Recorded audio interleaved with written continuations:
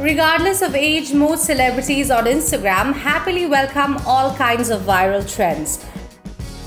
Recently, a very hip and happening on screen Jodi tried their hands at reel making and did an outstanding job. Kiara Advani and Varun Dhawan, two very social media savvy celebrities, busted some killer dance moves, providing endless entertainment and much needed comic relief. In the new reel, the dancing duo, as they have been dubbed since the video went viral, can be seen being themselves all free spirited and funny in a vanity van as they twerk to Diljit Dosanjh's new track Lover. Apparently, they were just being adults in colorful loungewears. Ranveer Singh was literally rolling on the floor laughing after seeing their video, going by his reaction to the post. Celebrity stylist Eka Lakhani wrote, Night shoots ka asar. Director Raj Mehta opined, Kaha fas gaya, to which Varun replied, You wanted us to be awkward.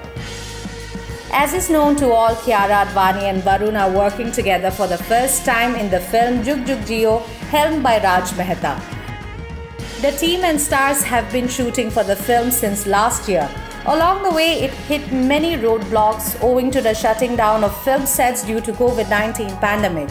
To add to it, Neetu Kapoor, Varun Dhawan, and director Raj Mehta contracted coronavirus while on set, post which the shooting had to be put on hold for a while. The film also stars Anil Kapoor and Prajakta Koli in pivotal roles. The makers are yet to announce the release date for this much awaited film.